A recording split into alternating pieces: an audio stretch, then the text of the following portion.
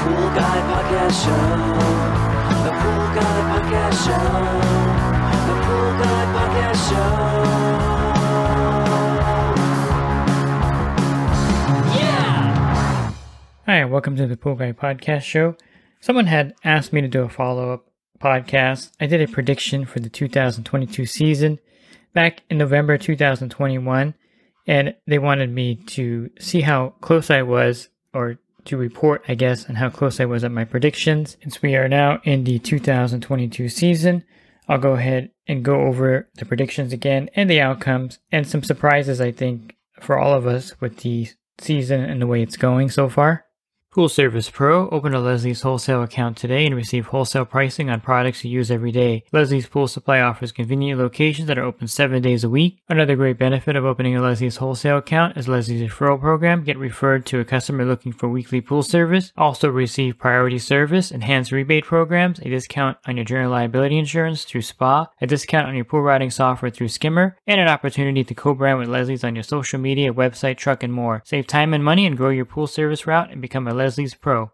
So at this time in 2021, most of the stores were out of 3 inch trichlor tablets and they were rationing them. If you go to your local Leslie's pool supply, you're going to see a pretty good supply of tablets. At least in my area, they have a good supply. And they're actually on sale, quote unquote. They're a little bit more affordable than I had predicted. So the prices have kind of stabilized. I mean, they're still at what I would consider a very high price point Considering the previous seasons, they were a lot less expensive. But you can buy a 35 pound bucket for $199. And the 50 pound buckets, I'm not sure where they've gone to, but a lot of the Leslie's in my area just have the 30, 35 pound buckets. I think there is a plastic shortage that is going around. And so the 35 pounds seems to be also for the price point, you know, 35 pounds for $200 is a lot more palatable than a 50 pound bucket for like 240 or 50. And I guess they're more affordable. They haven't gone to the extreme that I thought they would go, you know, plus 300, but they they're definitely double in price, easily doubled in price still. A 20 pound bucket's 120 and a 7 pound bucket's $70. So what is that? That's a uh, $10 a pound right there roughly for the uh, 7 pound bucket. So it's pretty expensive. $7, I mean, $10 a pound. And you figure that each tablet's about eight ounces. So every two tablets is five bucks. Is that correct? I think that's right. Yeah, so that's uh, pretty expensive when they were really inexpensive previously. So the price of tablets are kind of surprising that they haven't gone any higher than what they were at at the beginning of 2022. So if you stocked up, you really didn't save too much money but at least you have the trichlor tablets and they're again readily available so it's not an emergency situation at this point but it could change as the season goes on. I do think that all of those who thought the price of trichlor would come down this season were wrong with their prediction because it hasn't really come down dramatically. It's still way inflated from 2021 and 2022 so i think there was someone who predicted i think it was scott roberts of national pool route sales who said that he thinks the price is going to drop out and drop down, but didn't happen, and I don't think it will happen because the demand is still pretty strong for the tablets, and that kind of coincides with the price point. And who knows when the Biolab factory is going to be back online producing the tablets. I think they're supposed to be back online after this season, but we'll see. If they are back online, then maybe in 2023, the price of the trichlor tablets will go down again a little bit more but I don't think they're ever going to drop back down to, you know, $100 for a 50 pound bucket retail like they were uh, two and a half years ago. One thing that's surprising is how much Cal Hypo has taken off this season and it's sold out at my local Leslie's. I was there the other day to get some Cal Hypo. All they had were an off brand, which I'm not familiar with, and they had the boxes of the Shock 24 bags. So I think after my discount I paid 140 bucks for 24 pounds of shock, or individually one pound bags of the uh, what is it, Power Powder Plus, what they sell there, 73% Cal Hypo. So they ran out of the buckets, which was surprising because usually they don't. And last season they didn't run out of the Cal Hypo. So I think Cal Hypo has caught on big this season. A lot of pool pros have gone to it, mainly because it's accessible and they like the effect of the Cal Hypo. I mean, it does add calcium to the water, and so in some cases you want to be cautious with the use of Cal Hypo. I really like the Cal Hypo tablets, and I really thought that this season you'd be able to find them in pretty wide distribution, the Pool Life and the CCH tablets that were made by Sigura. Unfortunately, they sold to Solenis, which is a pretty big chemical company. They own Applied Biochemists, they own HTH, and I don't know if that's kind of affected the rollout of the Cal Hypo tablets. I don't know if it was maybe production issues because, again, there may have been some problems with the buckets for the Cal Hypo tablets. You can't really put them in anything but a bucket.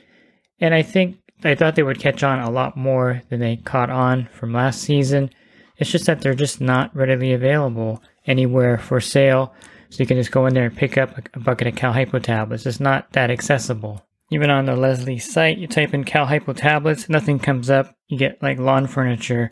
That's all that comes up there. So it's one of those things where I thought the Cal Hypo tablets would really have a good chance to cut into the market.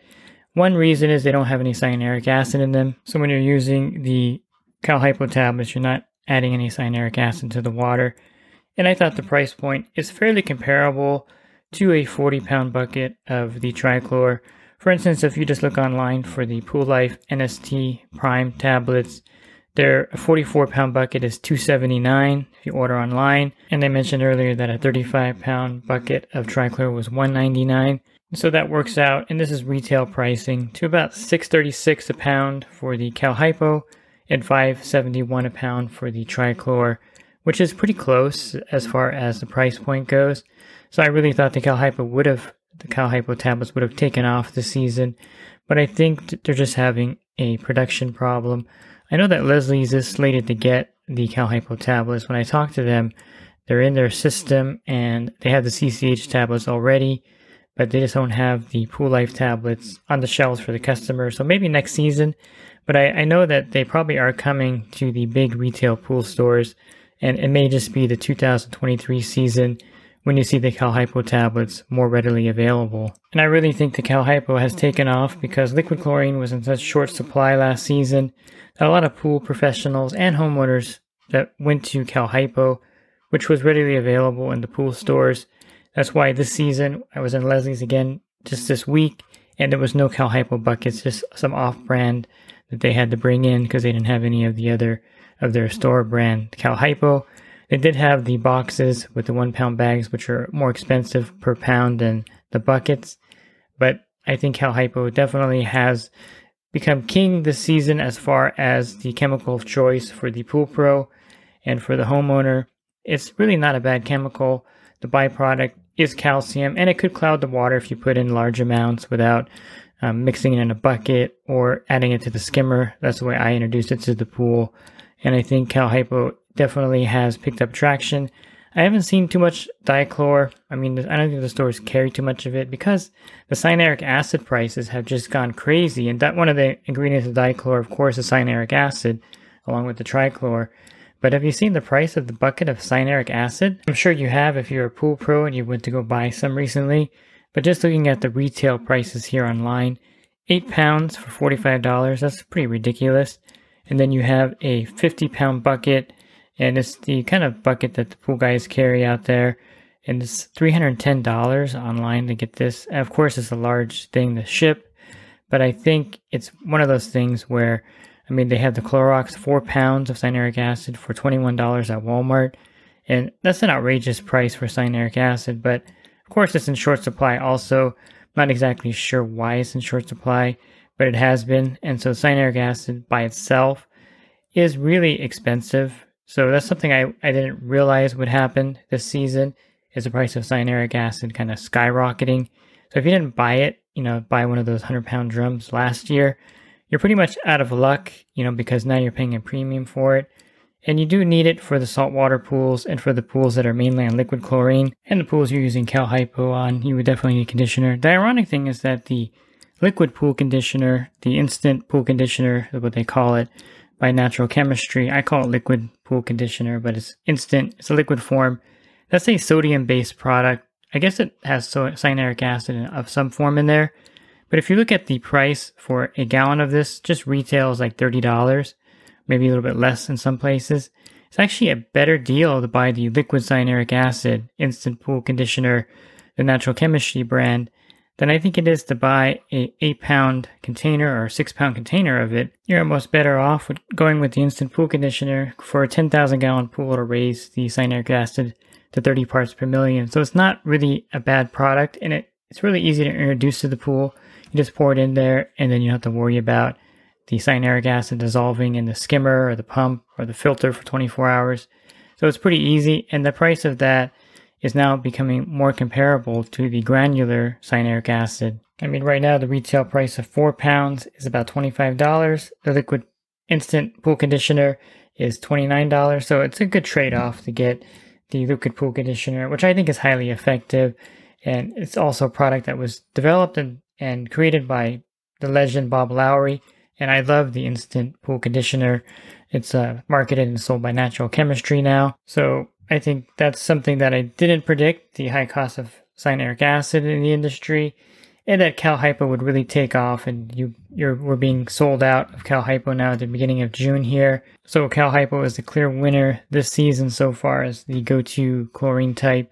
I think one thing that I couldn't predict, and probably no one could predict, is the high cost of gasoline, which will translate into higher costs for everything Right now in California, the price of diesel is over $7 a gallon, and this is going to cause an increase of everything, not just pool related products, but everything else you buy out there.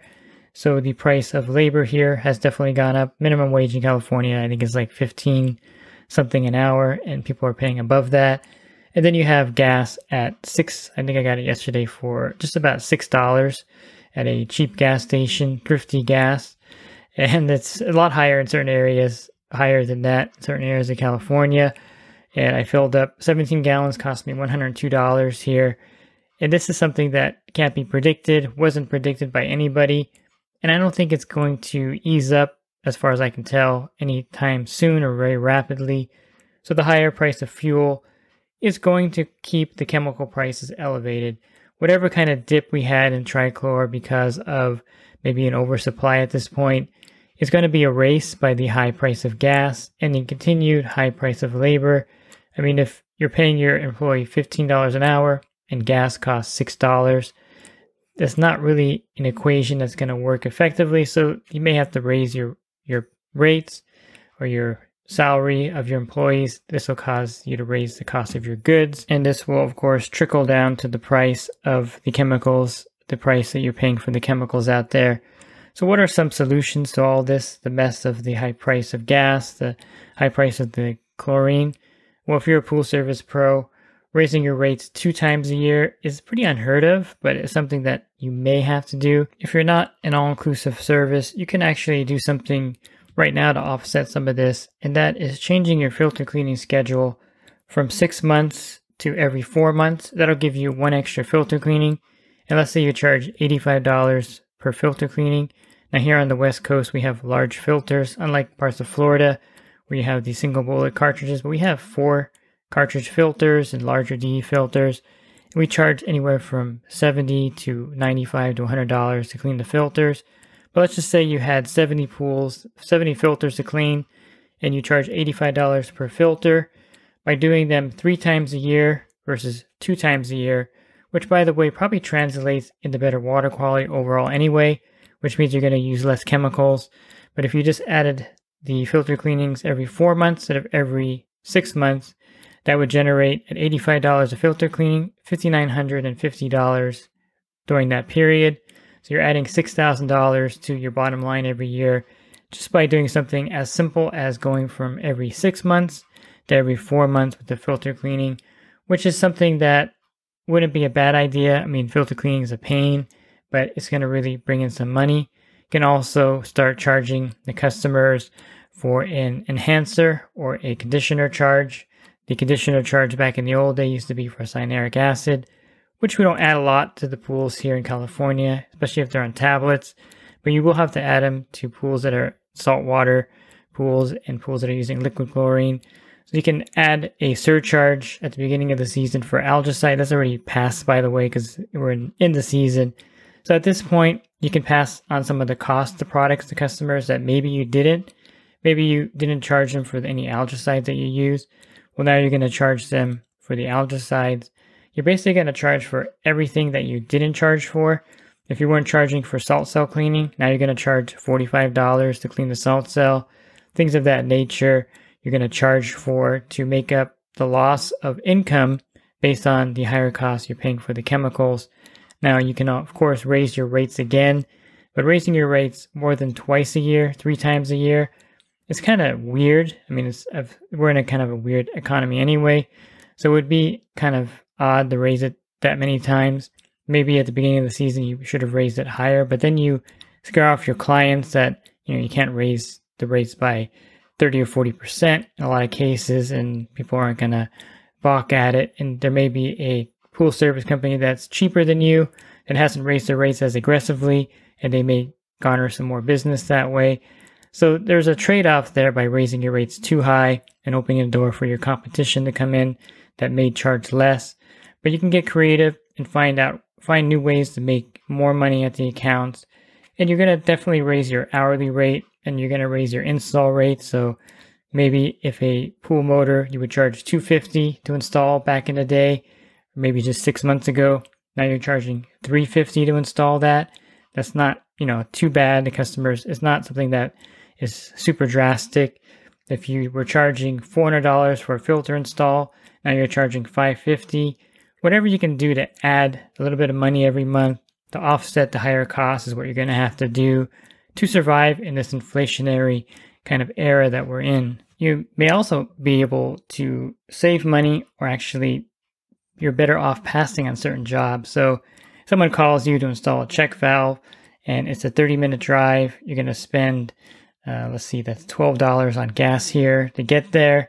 And then you're charging, you get the part, you charge them whatever, $80 to put it in. It takes you an hour and then you have to drive back. You're not really making a lot of money at that point. So you want to maybe pass on those nicky knack jobs and just pass them on to someone else or let someone else do them. You may have a limit of how much you can do or charge a minimum charge of a visit. A lot of plumbers do this now where you know, they have the $80 drain cleaning, but if you call them to do something else, they have a minimum that they're going to charge you for whatever they're doing. So that way they're not losing money by spending an hour, hour and a half at your particular job where they can make more money doing something else. So you may have to have a minimum service charge that you're going to charge people even for the nicky knack little repairs so that you're actually making money when you go out there. You certainly can sell your clients saltwater generators and that will definitely offset a lot of the chlorine costs that you would have to put into that pool. And I think saltwater generators are a good sell for a lot of customers, and it's a good way to offset some of the costs that you would incur. Of course, you're going to be spending more money on muriatic acid at that point, but the saltwater generator is always a good alternative. If the customer is already leaning towards it, go ahead and push them into getting one at this time. And then, of course, I mentioned this in the other one, and I'm mentioning here again, that if you're not using some kind of enhancer on your pool route, you're really going to be struggling with the chemical cost. And the cost of the enhancer is something that the customer will be paying for. So why not use it? So if you haven't used the Pool RX, I definitely would recommend using that on your account. You can also use a phosphate remover and enzyme. And what I do for my customers, I'll buy the product and they'll pay for the enzyme and phosphate remover and I'll leave it over by their equipment so they know they own that product then I'll add the phosphate remover and the enzyme every week while I'm there. And this is definitely a way to enhance the chlorine and allowing it to be more active and not be wasted, so to speak, on certain things that the phosphate and enzyme are going to remove. And then, of course, lastly, you can add boric acid powder and bring the borate levels to 50 parts per million, which will do a lot to extend the chemical usage or to curtail the chemical usage, I should say, because it's a natural algistat. So algae is not going to grow in there in most cases. So you're not going to need algicide. And the pH doesn't go up as rapidly because borate is a secondary buffer. And I get my boric acid powder from dudadiesel.com. You can order it and they'll deliver it FedEx. In my area, that's what it comes as FedEx. And you can order buckets of it, bags of it, and it'll definitely offset the chemical usage on your pool route. And of course, the customer is going to pay for the boric acid powder. You can just sell it to them as a chlorine enhancer. You don't have to go into detail of exactly what it is. There may be some customers that want to know, but boric acid powder is a good way to add the borates to the pool and is highly effective in reducing the chemical usage and chemical costs. If you're a homeowner, you definitely want to add this to your pool so that you're not spending a lot of money on chlorine.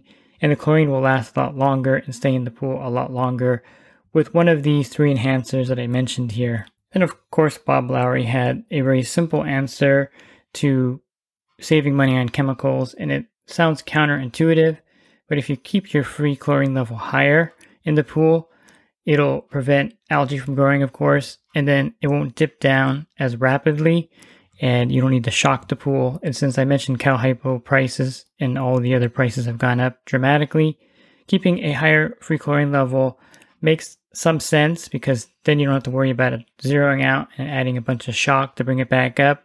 So keep your free chlorine level at 5 or 8 parts per million and you won't have to worry about adding shock to the pool because you're adding a maintenance dose of chlorine, keeping that level up there and it's not going to drop down to a level where you need to actually shock the pool and dump in, you know, three or four bags of Cal Hypo, which would be about $25 worth of chemicals. And if you just add a little bit every day with the Cal Hypo tablets or use trichlor or liquid chlorine, there's no need to really shock the pool and add a lot of chlorine at one time, which is pretty much throwing money away. So I think his solution has some real logic behind it. It's kind of like my grandfather used to always fill his car up before it got below half empty. And psychologically, that makes a lot of sense now because then I would have spent $50 instead of $100 on gas. But that's really not the same concept. It's not like some psychological trick that you're adding more chlorine gradually to the pool, not all at once. But by keeping the free chlorine level up, you're not going to have to add a big shock level to the pool and throw a bunch of money in there. So I think Bob Lowry definitely is a smart guy and he's def- his knowledge is definitely missed in the industry he'd probably come up with some new clever ideas, um, but he's not with us anymore.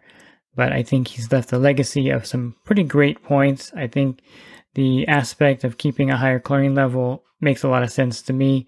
And I do that in my pool route in the summertime anyway. I keep all my pools at five parts per million or higher. That way I'm not worried about algae or shocking the pools. And of course I use an enhancer on all my pools. So I don't have to worry about adding a lot of chemicals or chlorine to the pool to begin with, but having that high free chlorine level is a hedge against, you know, algae growing or the pool zeroing out. So that's the predictions. Well, not the predictions, but the outcome of the predictions. I was a little off on the trichlor pricing. I think I said it was going to go even higher. And I was surprised that Cal Hypo has really been a big seller this year. And the gas prices are definitely surprising to everyone out there. If you're looking for other podcasts, you can go to my website, swimmingpoollearning.com, and on the banner, click on the podcast icon. And also, if you want to enhance your business, check out my coaching program at poolguycoaching.com. Thanks for listening to this podcast. Have a great rest of your week and God bless. Pool Service Pro. Open a Leslie's wholesale account today and receive wholesale pricing on products you use every day. Leslie's Pool Supply offers convenient locations that are open seven days a week. Another great benefit of opening a Leslie's wholesale account is Leslie's referral program. Get referred to a customer looking for weekly pool service. Save time and money and grow your pool service route and become a Leslie's Pro.